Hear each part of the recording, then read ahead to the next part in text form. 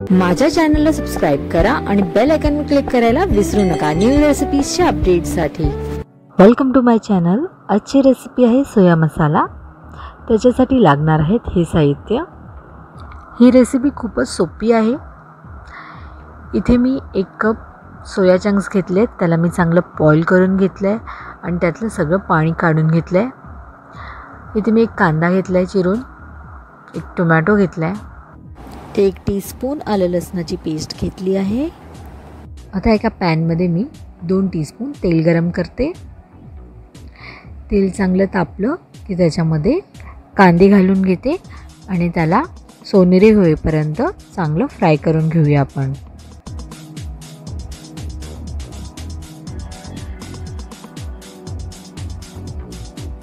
कांदे चांगले फ्राय झालेत.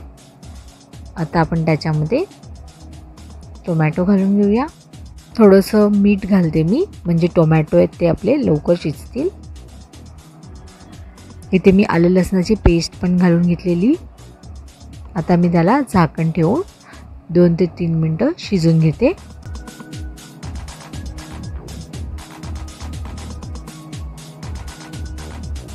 हे चांगलं शिजलेलं आहे. आता आपण ह्याला थंड करूया आणि एका मिक्सरच्या भांड्यात काढून घेऊया. इथे मी तेल घेते परत त्याच भांड्यात. आणि जे आपले सोया चंक्स आहेत त्याला मी चांगलं दोन मिनटं फ्राय करून घेणार आहे. इथे मी थोडंसं लाल तिखट आणि थोडंसं मीठ घालते. तुम्ही हे स्किप पण करू शकता. चांगलं फ्राय करून घेऊया. आणि फ्राय झाल्यावर एका प्लेटमध्ये आपण त्याला काढून घेऊया.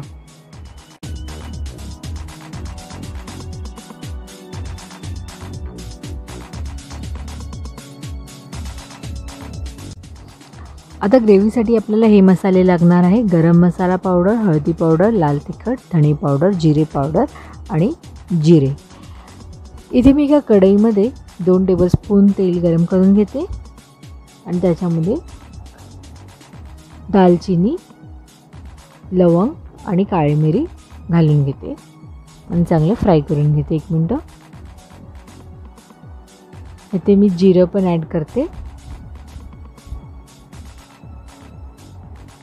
हे फ्राय झालं की आपण त्याच्यामध्ये एक टेबलस्पून चण्याचं पीठ घालणार आहे. आणि ते चांगलं दोन मिनटं फ्राय करून घ्यायचं आहे आपल्याला. इथे याचं कलर चेंज होईपर्यंत आपल्याला फ्राय करून घ्यायचं आहे थोडंसं सोनेरी होईपर्यंत चांगलं फ्राय करून घेऊया. ह्याने जी आपली ग्रेव्ही आहे ती थोडी घट्ट अशी होईल. आता मी याच्यामध्ये आपले ड्राय मसाले ॲड करते आणि एक मिनटं चांगलं फ्राय करून घेते. आता आपण याच्यामध्ये आपली कांदे आणि टोमॅटोची जी पेस्ट होती ती ॲड करूया आणि चांगली फ्राय करून घेऊया. इथे हा मसाला चांगला फ्राय झाला आहे आता आपण याच्यामध्ये एक कप पाणी ॲड करूया आणि चांगलं मिक्स करून घेऊया. मसाला चांगला मिक्स झाला आहे आता आपण याच्यामध्ये चवीपुरतं मीठ घालूया. आणि दोन मिनटं चांगलं बॉईल करून घेऊया. आता आपण इथे आपले फ्राय केलेले सोया चंक्स ॲड करूया.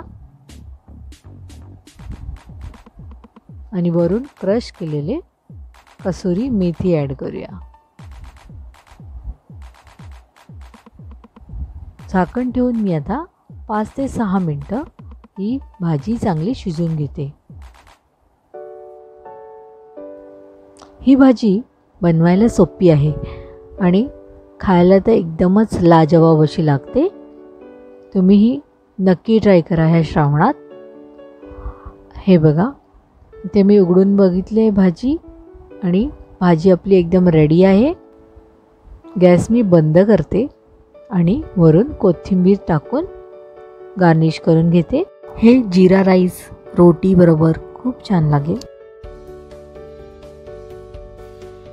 तुम्हाला माझी ही रेसिपी आवडली असेल तर ह्या व्हिडिओला नक्की लाईक करा आणि माझ्या चॅनलला सबस्क्राईब करा. तुम्ही तुमच्या मित्रांसोबत ही रेसिपी शेअरही करू शकता. तर नक्की ट्राय करा ही रेसिपी आणि मला कमेंटमध्ये सांगा. कशी झालेली थँक्स फॉर वॉचिंग